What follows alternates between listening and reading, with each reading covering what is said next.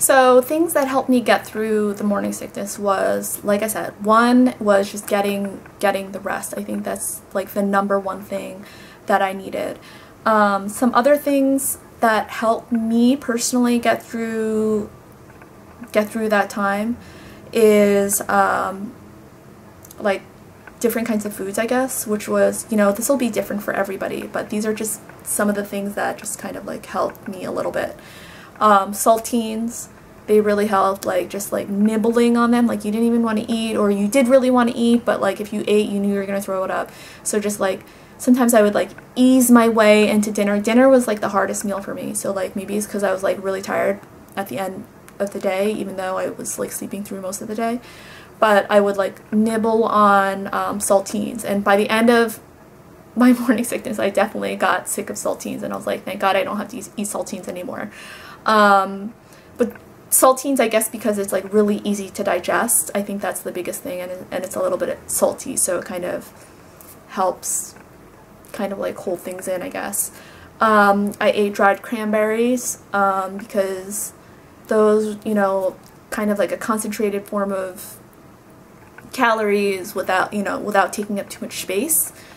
And what I ate quite a bit um, in my in my first trimester was uh, like for lunch I would do I would go to Panera and I would get like like a turkey sandwich with uh, with a Greek salad and I would eat it really, really slowly, and for some reason, like the sandwich had like avocado in it, and that was really good. And I would just eat it really, really slowly, and it just somehow managed to stay down. Um, and then after, and then I stopped eating Panera for a really long time because I totally got sick of it. And then when I went back to it, like to try, you know, eat the Greek salad again, the the salad what the salad dressing is really actually very vinegary and it didn't taste vinegary during my morning sickness, but you know, I know acidic foods also kind of help. What's interesting is that in my pregnancy with Nene, I would drink, you know, lemons were like a big thing for me. Like I would eat like a lot of lemons.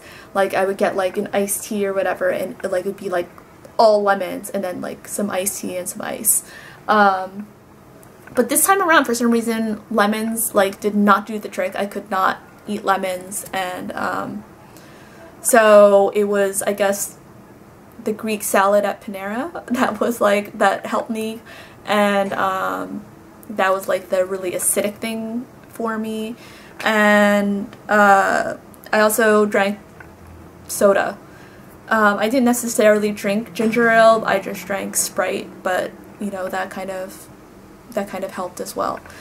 And um, again, eating small meals, and this is like true for all of pregnancy, I guess. Eating really, really slowly, eating small meals. See, a couple other things aside from, you know, resting and, and, you know, certain kinds of foods or whatever is, you know, because I was like throwing up, throwing up a lot, I used this quite a bit. Um, mouthwash was like was like my best friend and now I'm like an avid mouthwash user. I like never used mouthwash before until until this morning sickness or whatever and this is the kind that I use and apparently um, a lot of dentists recommend it. I mean, it says number one dentist recommended, but that doesn't really mean anything. It's the total care. But when I did go to my dentist um, later, I uh, they do actually recommend this uh, brand, I guess, or this particular kind. But mouthwash, clean, keeping my mouth clean was definitely very helpful. Keeping my toilet clean, I use these. Um, this is great value. I don't know, I, I think that's Walmart. It's like lemon scented and my bathroom was like, it's never been as clean as it was when I was having morning sickness because I would just clean it like all the time. And then also, you know, like your your sense of smell, or at least my sense of smell, like heightened quite a bit. Um, I mean, my sense of smell is already good, but when I'm pregnant, it's like through the roof. And a lot of foods would make me really nauseous. Chicken is like a huge thing. Um, if my mom cooked broccoli in a little bit of water and she left the water like on the stove like after she took the broccoli out after it was cooked like I could smell it from like across the apartment and like in my room like like they're like on opposite ends of the apartment and I could still smell it and it was like it was so bad but um and like if you if like when I was still working um if someone was wearing perfume and like if the perfume like was mixing with their body oils like that was a total turn off. Another thing about you know having morning sickness and you're working is it got to the point where like I had to go I had to go throw up and then um, it was like a public bathroom and I would have to like hold it in and wait until the person left and then until I could throw up and that was also like really hard. Um, and it's just like really exhausting like when you're trying to like hold in your urge to vomit it's just a very exhausting thing. Um, but anyway, when I was at home these actually also really helped and these are um, just like hand soaps. They're from Bath and Body Works, and I've never, I never had or used Bath and Body Works, but I really wanted to get like some type of foamy soap the way before, um, way before this uh, morning sickness or whatever. And, and these were the first two that I got, and these really helped just because it was just like after you throw up and stuff, and you just like feel so disgusting. Like you wash your hands, and these are like so refreshing, and it was just you know, they don't last, they don't like linger on your hands or anything. If they lingered on my hands and things, like it wouldn't work, but it was just, it didn't linger on my hands. It, you could just like smell it and it was just like very like refreshing and it was, they kind of like helped me get through it. But anyway, they say like ginger and maybe like those like wristbands for, for um, like motion sickness, that, that helps, but um, I never ate ginger or like got ginger chews or anything like that and I, I didn't do that. Um, I think breasting for me was the biggest thing.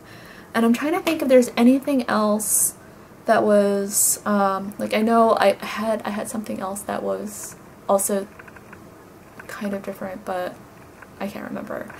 Um, so I think that's about it. Um, if you have any like morning sickness stories or tips then please leave them in the comments below. Um, I think, you know, people who are watching this video, they might very well be interested in hearing it. And just just know that if you are experiencing morning sickness like now or, you know, in the future, like, you're not alone. Like, I knew mentally, um, intellectually that there are women out there who have really bad morning sickness. I just don't or didn't didn't slash don't happen to know any.